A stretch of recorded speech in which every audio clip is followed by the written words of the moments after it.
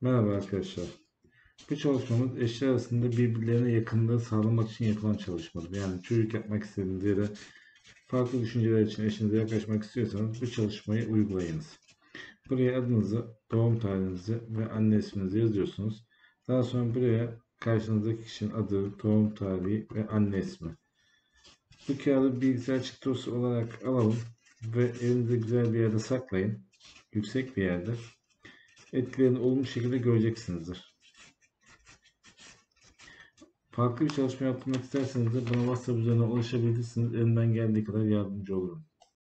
Merhaba arkadaşlar. Ben Ercüment Hoca. Bu yapacağımız işlem koruma işlemidir. Sizi her şeyden koruyacak olan bir işlemdir. Bunu cüzdanınızda taşıyabilirsiniz. Buraya adınızı, doğum tarihinizi, anne isminizi yazın. Ve bu benim hazırladığım kağıdın ekran görüntüsünü alın. Bilgisayar çıktısını alın. Ayrıntılı bilgi almak için de bana WhatsApp üzerinden ulaşabilirsiniz. Allah'a emanet olun.